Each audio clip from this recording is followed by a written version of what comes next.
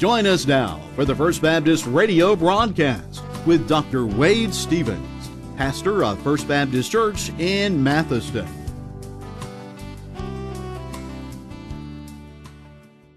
All right, let's take our Bibles and turn together this morning to the Gospel of Luke, chapter 24, beginning in verse number 44. Luke 24 44.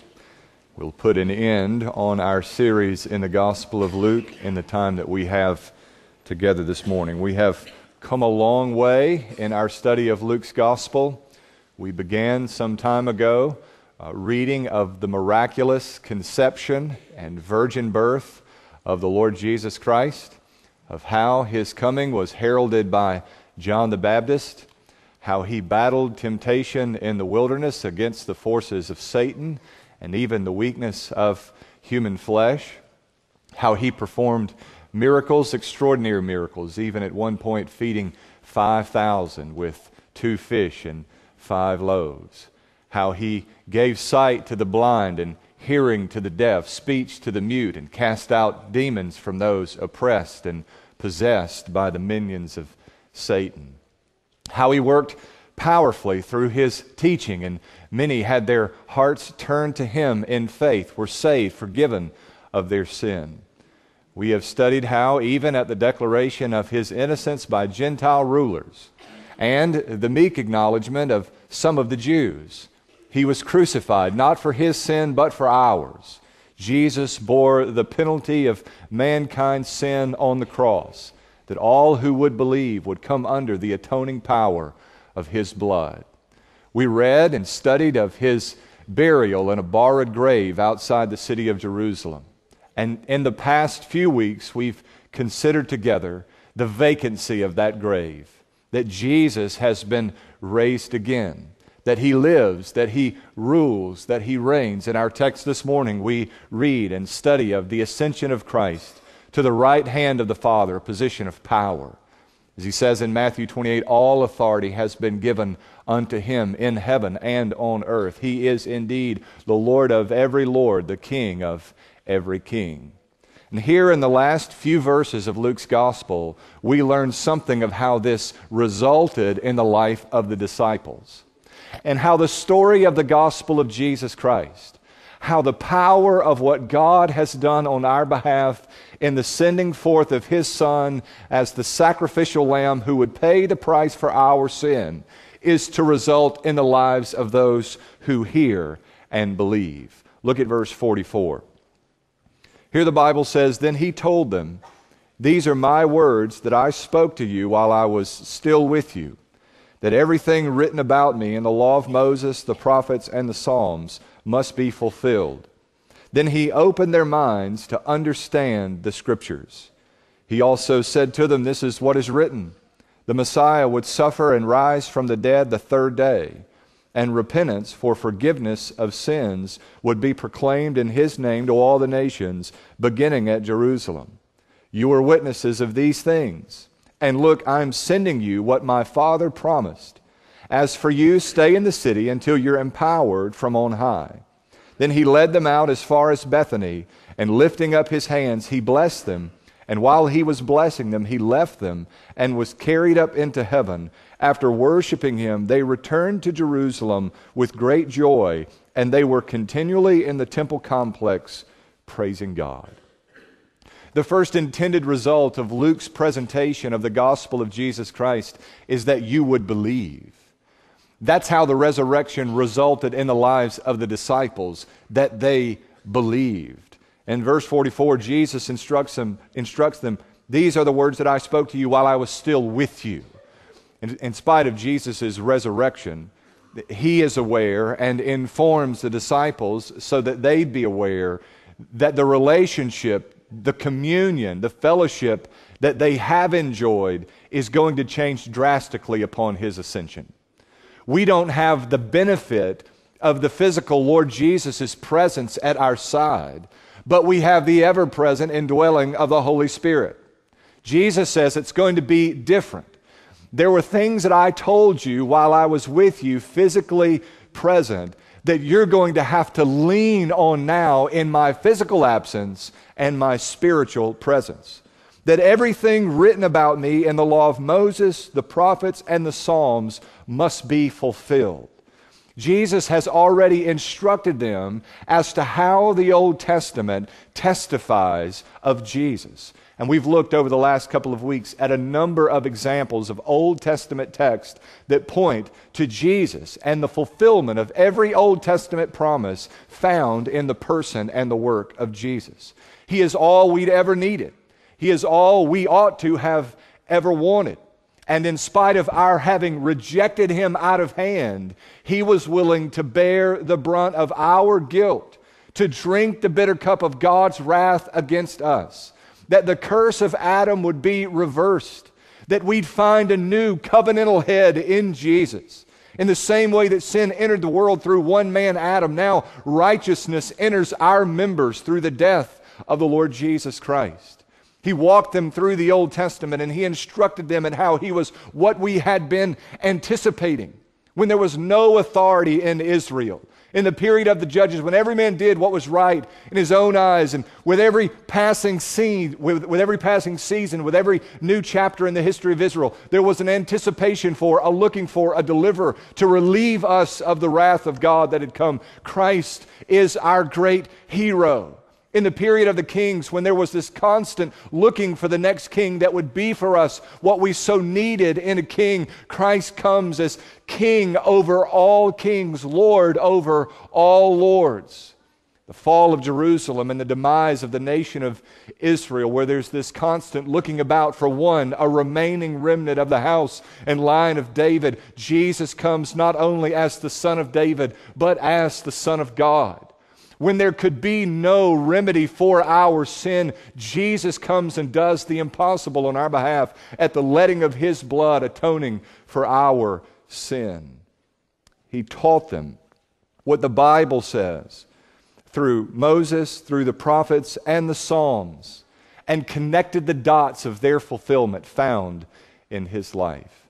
He really, he really does something of what JB illustrated in his illustration. Did you catch my child looking back? Affirming to me what JB was describing with the lost stuff. JB's illustration in Kids Corner described every morning at my house when it comes to shoes. It's amazing how something can be laying out in the wide open and they can't see it. I've looked everywhere, I've looked all over the place, and, th- and, there, and there it is. Jesus instructs them to look at what is laying uh, out in the wide open what is so apparent, what would be so readily found. Here it is. See and observe in the scriptures how our hope, our expectation, our all is found in Jesus. In verse 45, Luke very eloquently describes what Jesus does. He says, Then he opened their minds to understand the scriptures. Here, the disciples believe in a way that they had not before believed. I'm not suggesting that they were unconverted during the period of their ministry. But there's a greater degree of depth uh, of belief enjoyed by the disciples at this moment than any other moment. I was teaching on, on Friday night, Mark 8, where Peter makes his confession of Jesus as the Messiah. And in the following paragraph, he pulls Jesus aside after Jesus predicts his death and says, No, no, it mustn't be this way. And Jesus says, Get behind me, Satan. Peter is confessing that Jesus is the Christ without fully understanding the consequences of that confession. Even after repeated predictions by Jesus himself of his own death and resurrection, it is Peter that runs, perhaps optimistically, but Peter who runs first to the tomb of Jesus to see if the report of Mary and the other women could possibly be true. At the resurrection of Jesus, there is a heightened degree of belief in the hearts of the disciples in the lordship of Jesus Christ. If there is anything that is to result from our study of the life, the death, the burial, the resurrection of Jesus Christ. It is that the faith of the people of God be enhanced in the power of God that abides within the body of our risen Lord Jesus Christ. If there is any goal that Luke has in mind when he inspired, puts pen to paper to record for us an orderly account of the life and the resurrection of Jesus Christ, it is that those who would hear would believe on the gospel for the salvation of their soul. The call of Luke's gospel, the call of the gospel to believers and unbelievers alike is to believe, believe, believe, believe. I was looking back this morning, in fact, at Luke 1 1 through 4, where Luke describes what he intends to do. He's writing to a specific per- person, probably a Gentile official of some sort named Theophilus. And he says, I've set out to write for you an orderly account of that which you have been instructed in. Luke's gospel has one of two, perhaps both of these focuses or points of emphasis. One, he is either writing to a Theophilus who has believed to strengthen his faith, or two, he's writing to a Theophilus who has heard but has yet to believe. The Gospel of Luke can operate on both of those levels simultaneously. And in fact, I believe it is God's intent that it does operate in that manner this morning in this gathering on both of those levels. That the church of Jesus Christ would believe with greater depth in the power of our Savior and that every person here, separated from God by their own sin, without a saving relationship in Jesus, would look toward the cross of Christ to know that they're in a place of desperation and despair apart from that cross. And look at the same time beyond the cross to an empty grave, at hope everlasting that's found only in the risen Lord Jesus Christ. The gospel is to result first and foremost in our lives in saving faith, that we would trust in Him and believe. Folks, can I tell you, there'll, there'll come a point in time in every mortal man's existence when he or she does believe. It, it'll happen within the span of your natural life. You'll come to the end of yourself, to the realization that you're broken, desperately sinful that only God can remedy that problem in your life. That He's good, you're bad, you're bound for hell, but desire for heaven, and only Christ can change your destiny. You may come to that realization within your mortal life and look to Jesus for salvation and forgiveness, and you'll find it in His blood. Or you may find it on the other side of this mortal life when opportunity for repentance and salvation has passed, and you realize your desperate need, only on this occasion it's everlastingly too late. There will come a day when every knee bows and every tongue confesses that Jesus Christ is Lord. There is an urgency about the gospel as it's presented here in our text that you must believe that today is the day of salvation. Today is the day of salvation. Luke says, Luke pleads, believe, believe, believe. In verse 46, the Bible says, He also said to them, This is what is written the Messiah would suffer and rise from the dead the third day, and repentance for forgiveness of sins would be proclaimed in his name to all the nations, beginning at Jerusalem. Here, Luke states this proclamation statement, this description of how the gospel will be preached, a little differently than it's found elsewhere, but in a manner that I greatly appreciate. He says, Christ would suffer and rise from the dead the third day, that is the gospel, and repentance for forgiveness of sin would be proclaimed in his name to all the nations. Now, I want you to focus for a moment on the phrase repentance for forgiveness of sin. There is this little prepositional phrase for forgiveness of sin that qualifies the notion of repentance. Repentance must be preached, but repentance in and of itself is not the gospel. In fact, there's a specific strain of repentance that the gospel calls us to a repentance that results in the forgiveness of sin. This is more than a sadness or a sorrow over what we've done, often, which can be confused with a sadness or a sorrow that we have to cease doing what we have been doing. That can often be the case. This is a level of repentance. This is the, synonymous with what Jesus describes when he calls us to believe. He's calling us to a level of belief that results in repentance for the forgiveness of sin in our life. When he calls us to repentance for the forgiveness of sin, he is at the same time calling us to a level of belief that again would result in the salvation of our soul. Turn away from your sins. Same word that's often translated as conversion or converted in the New Testament. Be transformed. Let the old man die and a new man be raised in his place. This is the message that is to be preached to the uttermost parts of the world. Repentance for the forgiveness of sin found only in Jesus, who lived, who died for our sin, who rose again the third day. Repentance for the forgiveness of sin unlocks within our lives the glories of the gospel found in the person and the work of Jesus Christ. Believe and repent.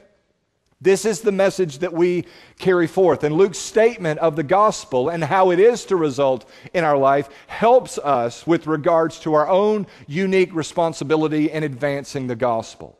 You're going to have to, where you live, with those with whom you share in conversation about the gospel, you're going to have to insist on a greater degree of depth in faith and repentance than people are customary to hearing or accustomed to hearing. There's just this superficial kind of belief and a superficial understanding of repentance that is prevalent in the world around us, and you're going to have to militate against that in your efforts at evangelism. We can just jump forward just a, a phrase or two here. The gospel of Jesus Christ should result not only in your belief in the gospel of Jesus Christ, but in your testifying to the gospel of Jesus Christ, you are to believe and you are to bear witness to the power of the gospel. You are to believe and you are to witness.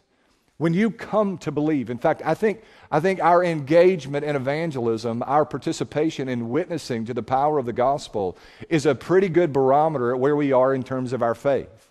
If you do believe, you will share the good news of the gospel with those you come in contact with.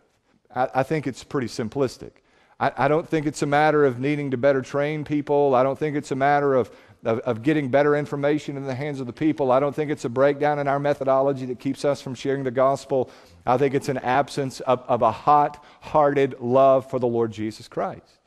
If you really believe that the gospel has rescued you from the muck and the mire of your sinful life, has picked you up out of the kingdom of darkness, and put your feet down as a citizen in the kingdom of the Lord Jesus Christ, if you believe that the gospel of Jesus Christ has rescued you from an eternal hell and saved you for an eternal heaven in the presence of Jesus, if you really believe in your heart of hearts that the gospel of Jesus Christ has purged your heart of blackness and put within you the presence of the Holy Spirit of God, there is no way that you could be more excited about your hobbies and special interests than you are about the gospel of Jesus Christ. There ought to be a, a, natural overflow of gladness and joy that results in our proclamation of the gospel. Jesus says, Tell them that Christ suffered, that he died, that he rose from the dead the third day, and that repentance for forgiveness of sin is necessary, that they would enjoy the fruit of the gospel. This is the message that we preach anywhere and everywhere at all times. This is to be proclaimed to all nations, beginning at Jerusalem. You start here and you go out and you share with all nations without partiality, without prejudice. You go and you take the good news of the gospel to anyone who will hear. Every occasion, every opportunity, our life is revolving around this notion of making sure that we get the good seed of the gospel into the hearts of every person we possibly can so that we're capitalizing on our vacation opportunities, so that we're capitalizing on our interaction with others, doing the things that we perhaps enjoy in an earthly way, recreating together, playing games together, involving and involving ourselves in recreational sports or cheering for our favorite teams. We are leveraging every opportunity, every occasion, every like, interest, or similarity with someone else to ensure that they know that Jesus Christ is the only hope of salvation and that they are, apart from Christ, in desperate danger of an eternal hell. This is the business of every believer. It seems so simplistic. It's something that we hear, it's a constant refrain within Baptist life, but it's something that we cannot cease to be reminded of. We need to know, reprogram our lives. It seems each and every day Satan is at work, busying our schedules, distracting us with other things, perhaps directing our attention toward other noble but less noble causes. Nothing matters more for the believer than advancing the kingdom of God through the proclamation of the gospel of Jesus Christ. This is who we are. This is who we are. There is no category anywhere in the New Testament for an unevangelistic believer in the gospel of Jesus Christ. We believe and we witness. But there's encouragement here in our witness, and that we don't go it alone. We're not left to our own devices. We're not left to the power of personality. We're not left to our own natural charisma. Jesus says, You go back to the city of Jerusalem and you wait there. You don't go on your own. You don't go in your own power. It'll only result in the fruit of your own natural ability, should you choose to do so. You wait for the promise of the Father, which is the Holy Spirit of God. And, that, and that's what they did. In Acts 1 and 2, there, there is the coming of the Holy Spirit. And there is the proclamation of the gospel under the power of that Spirit. And there are scores of people who believe. Now, here we are in the 21st century, in the Western world, in a day and an age when we have more resources, more technology, more techniques than we've ever had before. And somewhere along the way, we've grown increasingly reliant on the technology and the techniques and the newfangled methodologies and less reliant on the work of the Holy Spirit. There's a story, I don't know that anyone knows whether it's true or not, but there's a story of St. Augustine who's in the city of Rome and he's in conversation with the Pope in the fourth century. And they're, they're looking at St. Peter's Basilica. And the Pope says to him, No longer can we say, Silver and gold I have not. And Augustine responds to the Pope, Yes, and no longer can we say, Arise and walk in the name of the Lord Jesus Christ. There is something about a growing dependency on our natural ability or the things of this world that necessarily decreases our reliance on the power of the Spirit. And often, what we're getting in our evangelistic efforts and in many of our churches is just exactly what we can muster in our natural ability without a wisp of the presence of the Spirit of God. Now, I want you to know, brothers and sisters, that Jesus has promised us the gift of the Holy Spirit to empower and enable our ministries. You may feel as though you are ill equipped. You may feel as though you don't have the adequate gifts to be about the business of sharing the gospel. And if that's the feeling you have in your heart this morning, I want you to know that you are, you are precisely where the Lord would have you to be, to be used in the most magnificent of ways. Because none of us have that ability. None of us have the, the depth of insight necessary to be about such an eternally significant business. Yet God has promised that He would provide us with the words, with the opportunity, and the harvest in due time if we would determine to give our lives over for the advancement of the gospel. The gospel only came to you because it was headed to someone else. Our mission in this life is to get the good news into the ears of all who will hear. We're no longer waiting on the promise of the Father on the coming of the Spirit. We enjoy His presence even now. Utilize the gifts, the abilities, the power that God has given you, not those natural gifts and abilities, but those which are the product of the indwelling of the Holy Spirit in your life. We are to believe, we are to witness. Third and lastly, we are to worship. Verse 50. He led them out as far as Bethany, and lifting up his hands, he blessed them. And while he was blessing them, he left them and was carried up into heaven. And after worshiping him, they returned to Jerusalem with great joy. And they were continually in the temple complex praising God. All of these go together. You, you won't have belief without witnessing and worship. You won't have worship without believing and witnessing. In fact, worship happens best in a scenario where the church, believing the gospel, has been actively participating throughout the week in exhorting others to believe the gospel by their witness. And then the church gathers on the Lord's day to sigh, to rest from their week of labor, to share with one another in the fruit of their harvest, and to give God the thanks for the way He's been pleased to work and move through their ministry in the days behind them. You'll never believe more in the power of the gospel than when you're actively engaged in sharing the good news of the gospel. And you'll never worship with greater spirit or truth than when you're worshiping out of the overflow of the experience of, of life poured out in service to the King of Kings. Jesus ascended to the right hand of God, and they worshiped with great joy. Their confusion had been set aside. Only days ago, they had been in despair at the death of their Savior, but now their confusion and their sorrow was turned to gladness. They come back to the city with great joy, continually in the temple complex, praising God.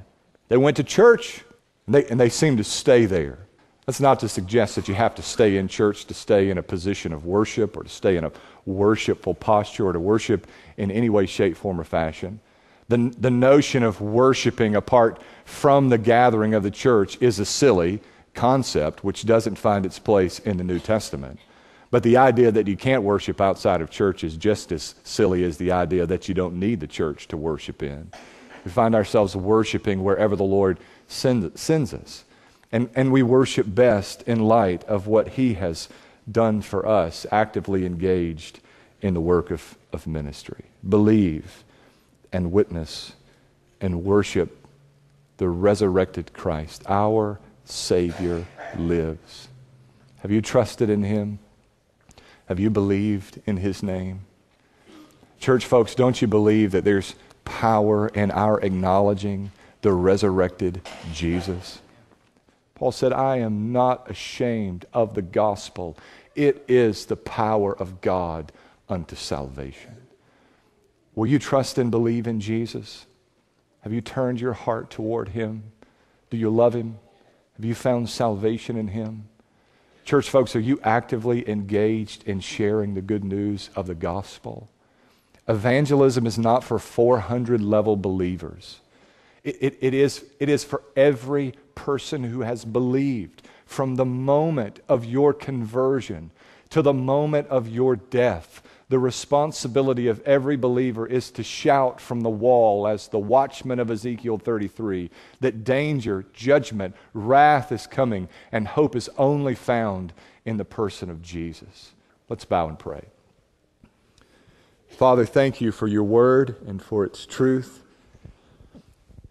for the gift of saving grace and for the continued work of sanctifying grace in each of our lives. We're not where you'd have us to be, but thank God through the work of your Spirit, we're, we're not where we used to be either.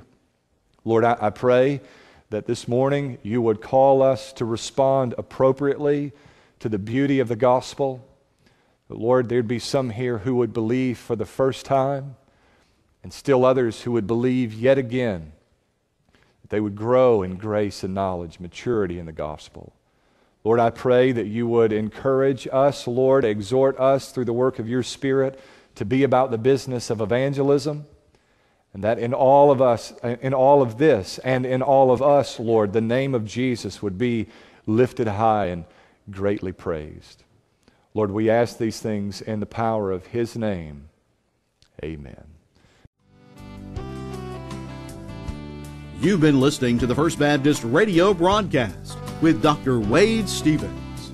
Hello, I'm Wade Stevens, pastor of First Baptist Church in Mathiston.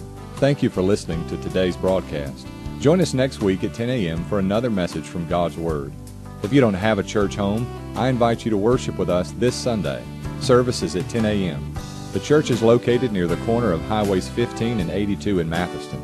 You may follow us on Facebook at First Baptist Mathiston, and for more information, check out our website at firstmathiston.com or call us at 662 263 5323.